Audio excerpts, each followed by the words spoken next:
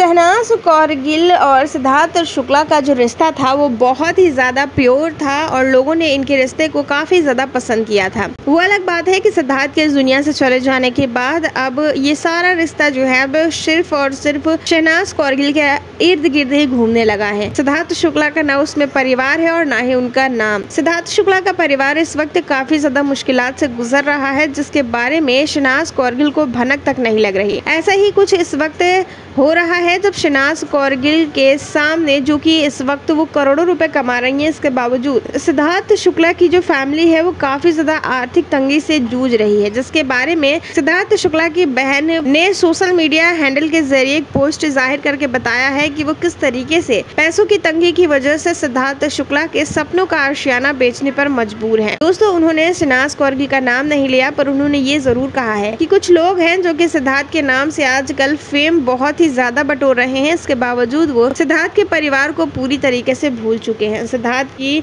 जो fan flowing है, वो काफ़ी ज़्यादा नाराज़ है। उनके फैंस जो है शनाज कौरगिल से उम्मीद किया करते थे कि वो शनाज सिद्धार्थ शुक्ला की फैमिली का, उनके खास तौर पे उनकी माता जी का ध्यान ज़रूर रखेंगी, पर ऐसा हुआ नहीं है। दोस्तों, क्या कुछ कहना है इस रिपोर्ट के बारे में? आपको कॉमेंट के ज़रिए हमें अपनी राय शेयर ज़रूर कर दीजिएगा। एंटरटेनमेंट और साथ ही बड़े और छोटे पर्दे से जुड़ी हर खबर लगातार सबसे पहले प्राप्त करने के लिए हमारे चैनल नॉलेज ट्विस्ट को तुरंत ही सब्सक्राइब कर लें। हमें अपना कीमती समय देने के लिए धन्यवाद।